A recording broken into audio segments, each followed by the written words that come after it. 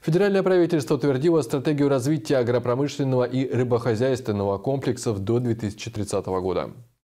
Всего стратегия формулирует восемь главных целей развития. Для укрепления продовольственной безопасности сельхозпроизводителям необходимо работать над увеличением урожайности, развитием племенного дела, а также созданием новых технологий производства, переработки и хранения продукции. Во время обсуждения документа на оперативном совещании с вице-премьерами Михаил Мишустин отметил, что отечественные хозяйства полностью обеспечивают потребности страны в таких важных продуктах, как мясо, рыба, зерно, сахар и растительное масло. Приоритетными направлениями экспорта продукции станут страны СНГ, Ближнего Востока, Африки, Юго-Восточной Азии, а также Китай и Индия. Еще одна цель – создание к 2030 году единой цифровой платформы агропромышленного и рыбохозяйственного комплексов. Она позволит в режиме реального времени получать сведения, нужные для принятия тех или иных управленческих решений. Кроме того, этот цифровой ресурс существенно упростит для аграриев получение различных видов господдержки. Стратегия утверждена взамен аналогичного документа документа, принятого весной 2020 года. Обновленная версия учитывает экономическую ситуацию, сложившуюся в условиях внешнего санкционного давления.